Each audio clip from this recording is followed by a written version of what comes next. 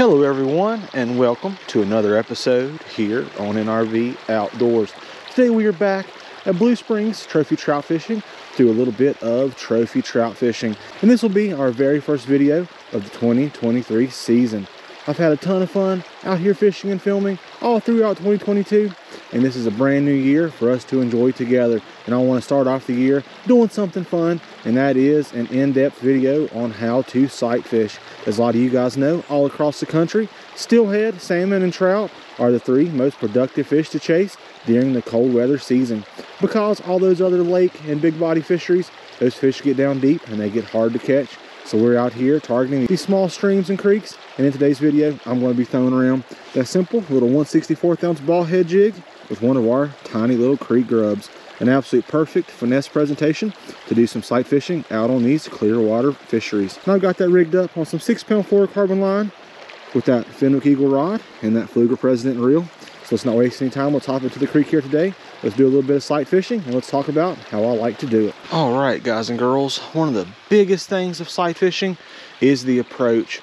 We've got this beautiful little hole right here, fast trickling water moving down into a nice deep pocket in this bend. And odds are there'll be some fish right in this bend. Anytime you find a bend in the creek or river, you'll typically get deep and those fish will hang out in there and wait on food to come to them. But while you're approaching, it's key to not spook the fish, to be very stealthy. I like darker colors. These blacks or camouflage is good. And try to avoid those bright colors as those fish will see you a mile away. If you can see them, they can see you. And another big thing is to be very wary of your shadow. As you can see, I'm approaching here with my shadow over my left shoulder. I'm gonna try to keep that shadow up into the shallows of the creek, and not let those fish know that I'm here. So let's go ahead and slide on up. Let's drop in cast number one. I'm to approach super slow. I just seen a fish rise right there too. I'm to approach super duper slow. I'm to stay back. I don't see anything yet, so I'm to make a couple blind casts. I'm just to drop that lure right into the head of the hole, right where that natural forage is to be filtering through. And let that creek grub just simply fall on down nice and slow into that current. We're going to bounce it on the along. All right, everyone, we made our sneaky approach. We've looked all around this hole. I have spotted one fish, but it did not react to our creek grub at all. So what our best bet is, is to move to more productive waters. When you're able to sight fish, you're able to see what the fish are doing, see how they're positioned, and see how they react to your lure.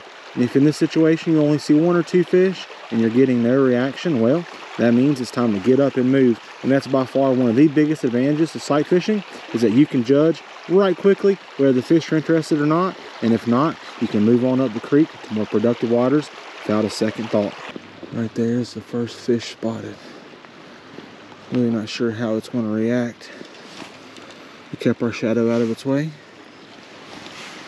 I'm going ahead and take our simple little pink creek grub. We're going to cast way out in front of it. We don't want to spook this fish immediately. Work that lure across the run and see its reaction.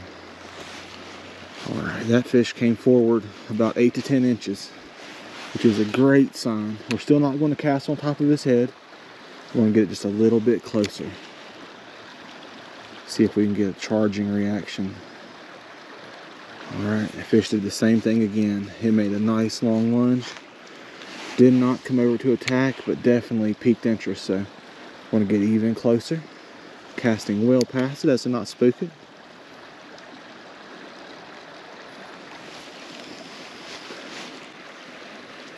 Alright, on that cast, it began to back up. That's never what you want to see. So what we're going to do is that fish has seen that lure a few times. We're going to go on ahead and change up. A lot of you guys notice why I make these videos and I'm constantly changing lures back and forth and back and forth. And that is because once those fish begin to shy away from it, I will change up to something and try to get their attention yet again. So we're going to pop on that black grub just like so. We're going to drop it right in front of this little beauty. We're going to see if we can get a reaction out of it. Alright everyone, I want to give this a perfect presentation. So I think what I'm going to do is I'm going to get rid of that split shot that we added previously in our last hole as it was super deep and we needed that split shot to help us get down there. We're going to try a nice slow bounce by this fish. Anytime that you can see they are interested but not quite taking, drop that in our pocket there. It's best to try to change up that cadence until you can get that reactive strike and get it to go on ahead and take it. So we're going to tie back on here. No weight added, just a 164th ounce ball. And a simple little grub. And let's just see what happens. All right, let's try that again.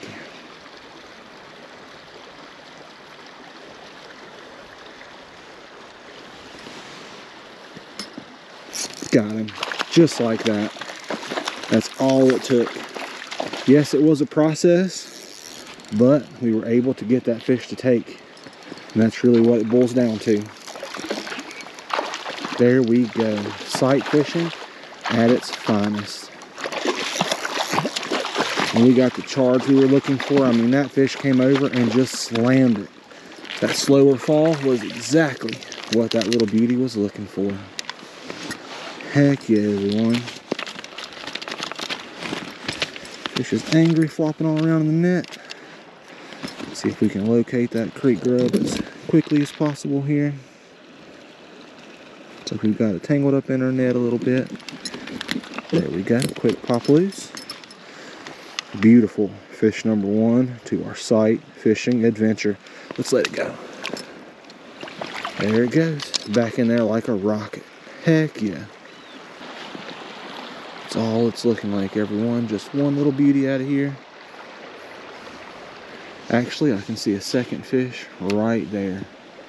Maybe even two. What we're going to do is if you look, there's a bit of a limb hanging out over the water and it's just grass. There's nothing to get snagged up on. So I'm going to do my best to cast that creek grub over that grass and allow it to fall down into the water and then we're going to simply bounce that thing right in front of where these fish are. So let's go ahead and try that now.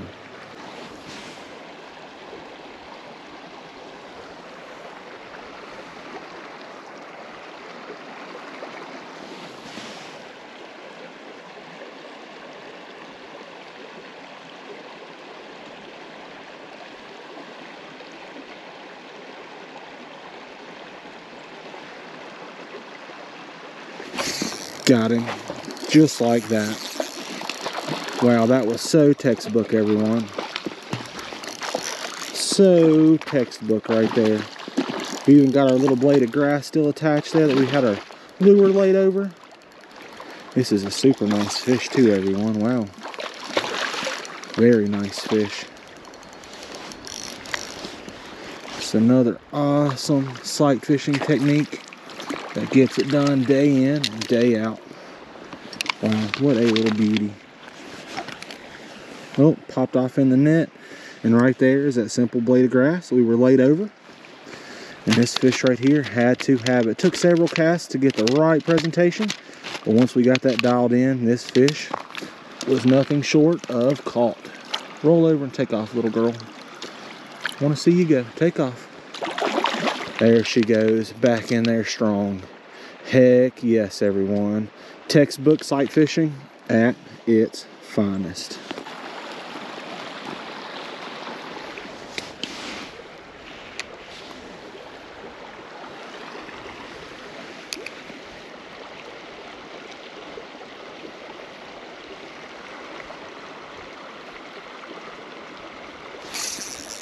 There we go, another one. Doing the exact same thing, everyone. Wow. Flipped it over there. Now this was a complete blind cast. I did not see the fish. I flipped it over there, over a limb, jigged it around, and there was another one hanging out underneath that undercut bank. Heck yeah, everyone. Too awesome. And that fish came out and just destroyed that old creek grub.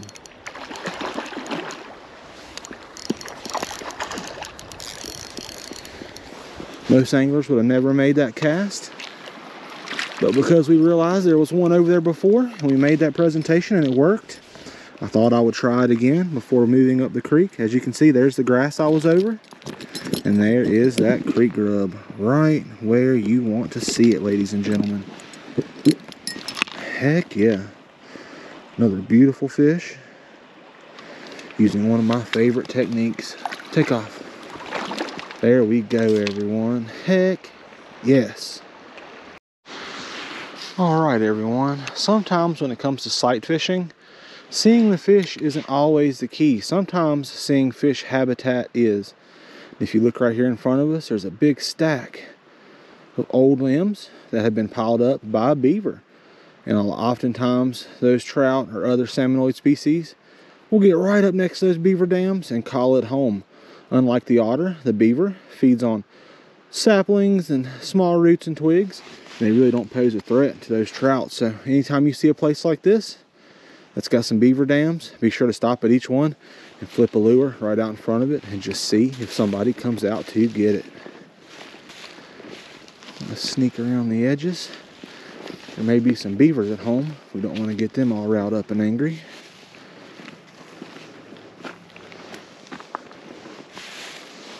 Let's pitch in a cast right in the front of this one. See if there isn't anybody hanging out inside.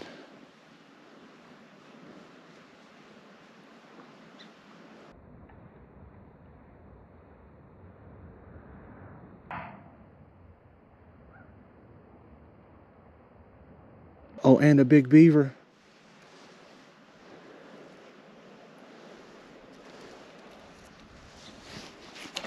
That was pretty awesome, everyone.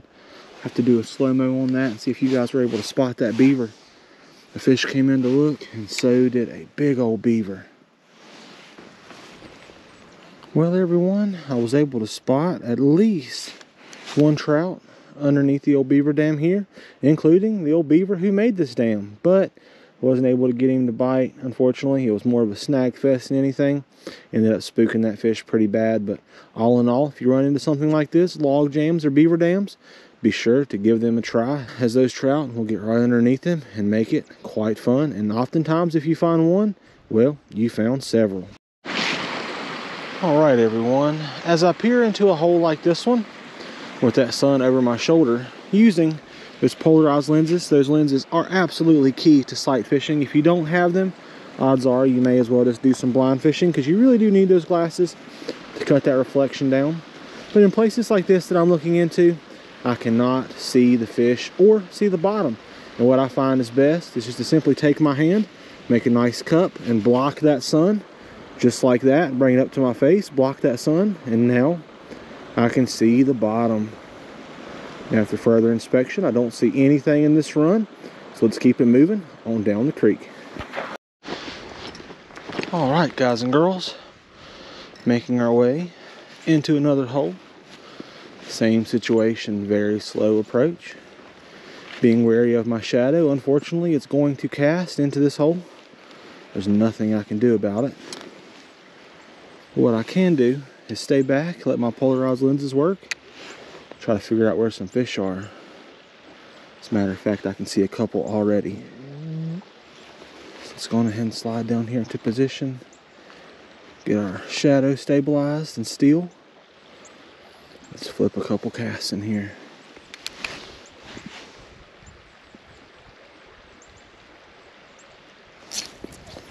I mean immediate bite. Wow.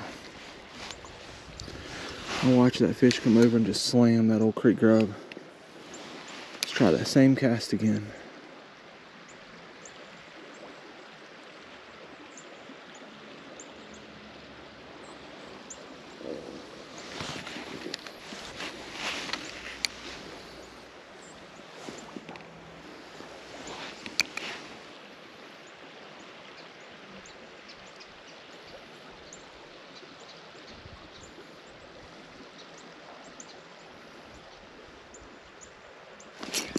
Got him. There we go. Flipped it in there. Stayed wary of my shadow. Swung and missed him once. He came back for it again. That's what we like to see, everyone.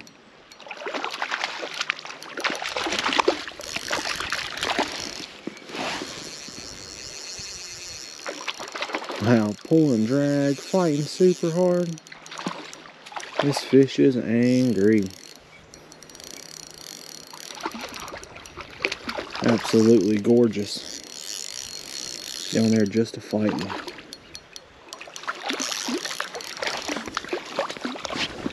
Alright, slide this little puppy into the net. There we go. Beautiful fish. Looks like he's kicked in the net. There we go. Check that one out, everyone. Beautiful fish. Heck yeah. Let's let him take off out of here as well. Take off, buddy. Alright.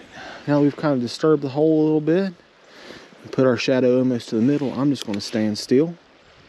Give it time for my shadow to kind of middle out a little bit there and then get used to it. I'm just going to make some short casts, jigging that old creek grub around. See if I can't get another one to come on over and get it for us.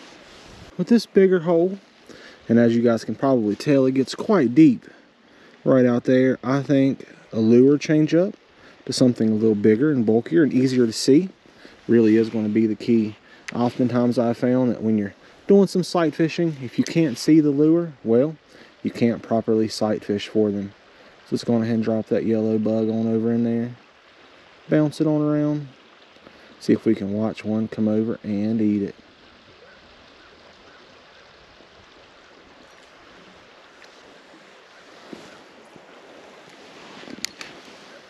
Drop it right on top of where one's laying.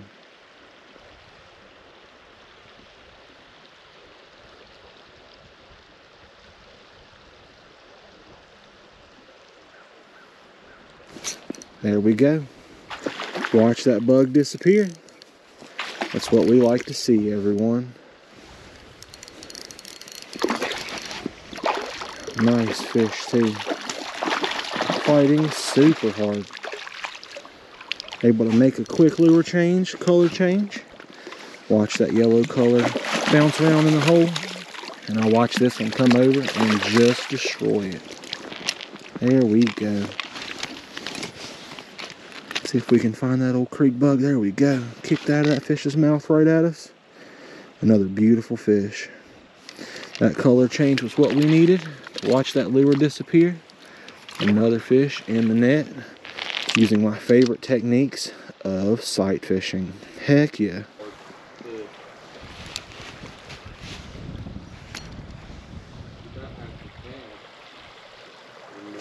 There we go.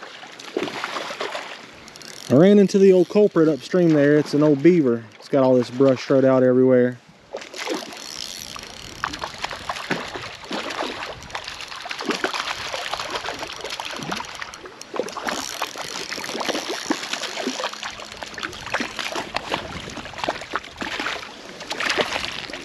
Pretty good. Not a bad one. Not a bad one. Yeah. That little poke right in the roof of the mouth.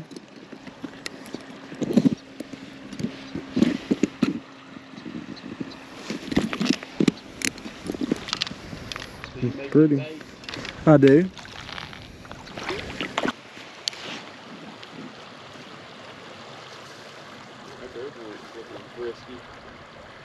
They're all running all over the place now. I don't know what they're running from. There he is. That sucker came out of there and just smoked that thing. Unreal. Looks like I got a wrap somewhere. Yep.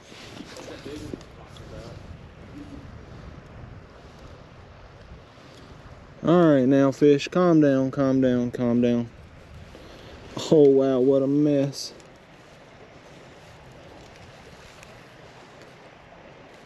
We'll be lucky to get this one in, everyone. There we go. Is he still on there? Yeah, he's still on there. Wow. What a mess. Talking to a young fella there. This one came out and just crushed that old lure. Wrapped me all up. Wasn't ready for the hook set. Unreal. Definitely a retie coming in my future. Sight fishing this old bush. Not really fishing. Not really casting to the fish as much as just casting to the location. And another one on the old NRV baits. There we go. Heck yeah, everyone. That one come out of there like a rocket and just crushed that old lure. There it goes. Back in there, happy and healthy. We've got a retie coming our way. Well, everyone, that is pretty much going to do it for today's little sight fishing adventure. I've had a ton of fun out here at Blue Springs Trophy Trout Fishing, sight fishing, some of these monster size rainbows. If you enjoyed today's video, be sure to smash that like button. And if you have any questions about sight fishing or any questions in general, feel free to ask away down there in the comments. I do my best to reply to each and every one of them. And if you'd like to get your hands on some of those lures, used to catch all those awesome rainbow trout, all you've got to do is click that very first link in the description. It'll take you straight to my website. Be sure to use code YouTube10 in all caps to save 10% off any order, $25 or more. Be out there if you can, everyone, and do yourself some fishing and have some fun. But most importantly, be safe tight lines.